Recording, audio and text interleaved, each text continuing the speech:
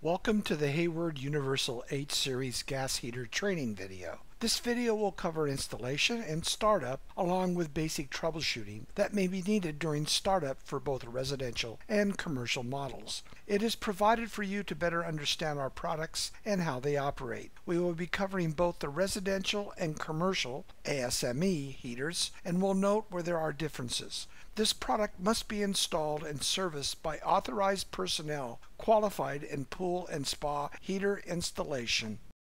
Before beginning installation, make sure to read the Universal H Series installation manual included with the heater carefully and completely. This video is designed to serve as a quick overview and does not replace or supersede the detailed installation or operation requirements set forth in the product's owner's and installation manual. For a free copy of the manual, please visit hayward.com. Do not drop the heater from a truck tailgate to the ground. This may cause damage to the heater. Make sure you have the needed equipment or enough people to unload the heater properly. When uncrating the heater, you will find that it is tied down to the pallet by three screws, one located at the rear of the heater and two more located inside the front panel which will need to be removed for access. Remove these screws and lift the heater off the pallet. The heater may be installed at any altitude up to 10,100 feet above sea level, provided the appropriate modifications are performed. The altitudes which require modification vary depending upon the model. Parts necessary to convert the heater for outdoor installation at altitudes up to 7,700 feet are included with the heater. Consult the installation manual for more information on high altitude installations. When selecting a suitable location for the heater, keep in mind that it is a gas appliance and as such the installation must comply with national, state, and local codes. This will include the National Fuel Gas Code or the Canadian Code. Pay close attention to the location of the heater in reference to public walkways, adjacent buildings, windows, and building openings. If you are not familiar with these codes, consult a licensed gas professional familiar with gas pool heaters for assistance. If the Universal H Series gas heater is installed outdoors, the heater must have 36 inch clearance over the top, 24 inch clearance in front, 6 inch in back, 12 inch on the water connection side, and 6 inches on the side opposite the water connections. The heater cannot be installed under a deck. Do not install where the water spray from a sprinkler can contact the heater. Do not install within 24 inches of any outdoor HVAC equipment. Do not install where growth of shrubs over time may interfere with the clearances stated in the manual. If the heater is to be installed indoors, consult the installation manual for venting instructions, keeping in mind that due to safety concerns and the critical nature of indoor installations, the venting should only be done by a qualified ventilation contractor familiar with gas pool heaters. If the heater is to be enclosed or installed indoors, it must have a combustion air vent commencing within 12 inches of the bottom of the enclosure. A ventilation air vent will be needed if installed indoors, commencing within 12 inches of the top of the enclosure. See the installation manual for specifics on this type of installation.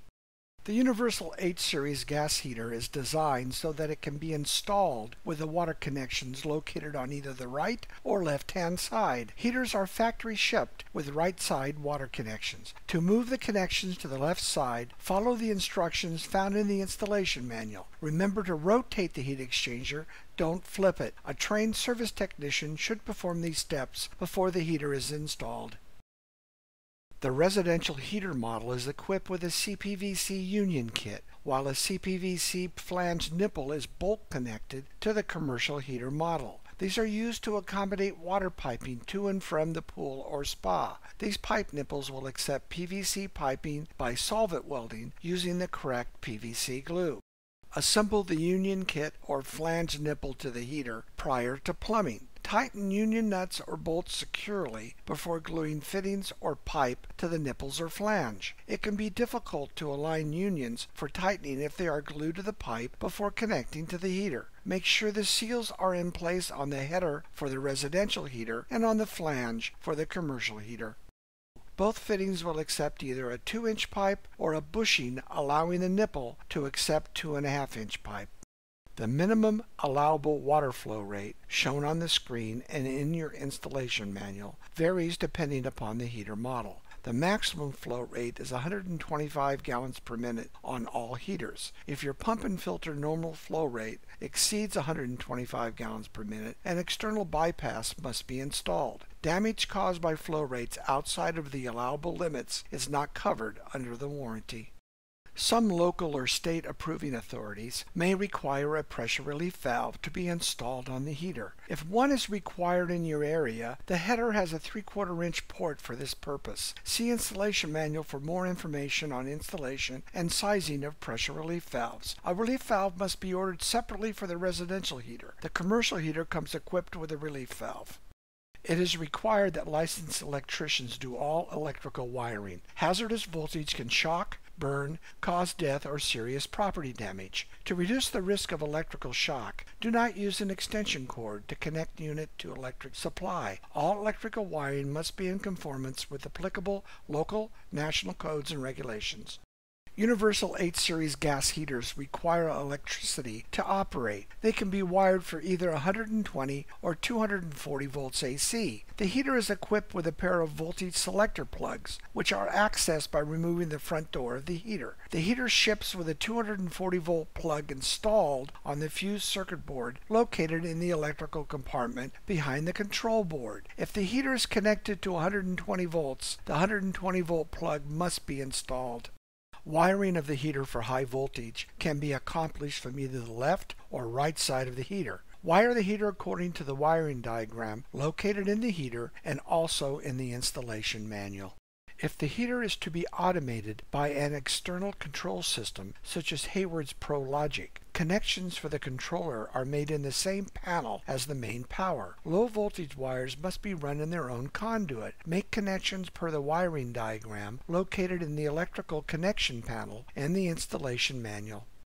The National Electric Code, NEC, and most other codes require that all metallic components of a pool structure, including reinforcing steel, metal fittings, and above ground equipment, be bonded together with a solid copper conductor wire. This heater must be connected to a bonding grid with number 8 bare wire in the US or number 6 bare wire in Canada. All Hayward heaters are designed for copper conductors only. A bonding lug is provided on each side of the heater to ensure that this requirement is met.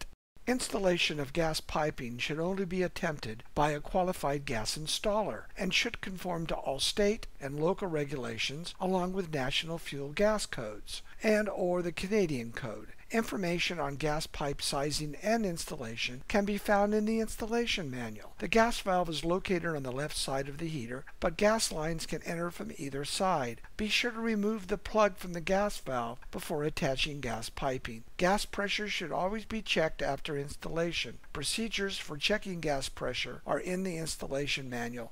The water pressure switch is preset at the factory for the majority of installations. In cases where the heater is installed either below the surface of the pool or above the surface of the pool, the water pressure switch may need to be adjusted. Please refer to the manual for this adjustment or call your Hayward technician for help.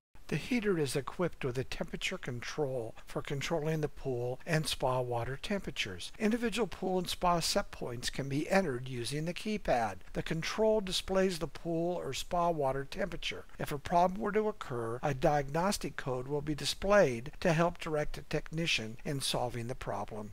The mode button is used to set the heater for pool or spa operation. Once set to either pool or spa, use the up and down arrows to adjust the set point to the desired temperatures. There are three modes for heater operation which must be manually set. Pool. The heater will operate as needed to warm the pool to the set temperature. Spa. The heater will operate as needed to warm the spa to the set temperature. Standby. The heater will not operate in standby mode. Let's now talk about setting the control for operation with a remote controller such as Hayward's ProLogic. Using the mode button, place the heater in standby. Simultaneously press and hold the mode and down arrow for approximately 3 seconds. A BO will be displayed on the screen. Now heater must be placed in either the pool or spa mode for remote control. The heater thermostat will now function as a high limit only and will not allow the heater to heat beyond 104 degrees Fahrenheit. Please refer to the Universal H Series manual for information about temperature setting limits. The following are possible error codes when first firing the heater. LO this is normally associated with low or no water flow. Make certain the pump is running and the water lines are free of air. Allow a few minutes after turning on the pump for this air to clear. This allows time for the pump to prime and the air to be cleared from the lines. If the heater has an external bypass, it may need to be adjusted to allow sufficient water flow through the heater. Check to make sure the filter is clean. If this is not the problem, consult the manual or troubleshooting guide for further troubleshooting instructions. IF. This means the heater failed to ignite. Make sure the gas shutoff valve is open. Make certain the gas control valve is in the on position. If all gas valves are open or on and IF error still occurs, check the gas pressure. Instructions and required pressures can be found in the Service and Installation Manual or the Troubleshooting Guide. AO the AO code is displayed when the blower vacuum switch fails to close on a call for heat. On new installation, this is sometimes caused by a failure to change the voltage selector plug from 240 volts to 120 volts when the heater is wired for 120 volt operation. Determine if the heater is wired for 120 volts and if so, make sure the 120 volt plug is installed. For professional help and service, go to Hayward.com and select Dealer Locator, which you will see at the top left of the website navigation bar. Next, provide the postal code of where the system is installed, as well as 1. A search radius 2. Pool type 3 product repair and service. 4. Heaters. Lastly, select Submit and you will see all local Hayward authorized service centers who can assist with the Universal H Series heater installation, operation, and service. Remember to visit Hayward Pool Products at www.hayward.com along with our social media sites for helpful information about your Hayward products.